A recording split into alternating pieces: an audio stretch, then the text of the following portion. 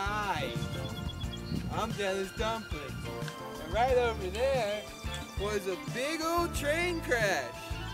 The boiler exploded, scolding and killing hundreds of people. Oh. Hello, I am German immigrant. I'm coming from Chicago. I'm going to Hoboken.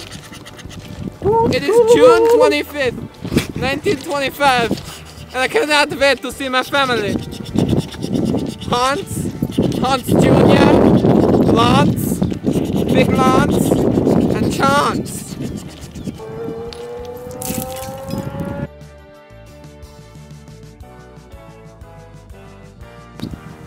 Ouch! That hurt! But I'm okay though.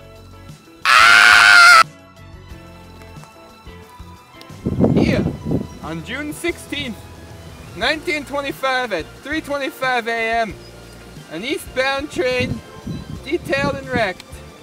The engine's boiler exploded, scalding many passengers. In spite of valiant rescue efforts by townspeople and game farm employees, 50 died. It was the deadliest accident in Warren County history. Hackettstown History Society, marker by Coruscant Funeral Home, 617 1995. Help me.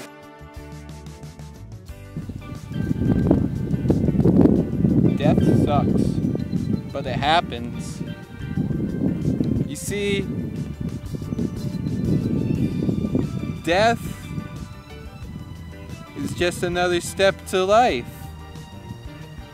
When you die, you're never really here. Somewhere else.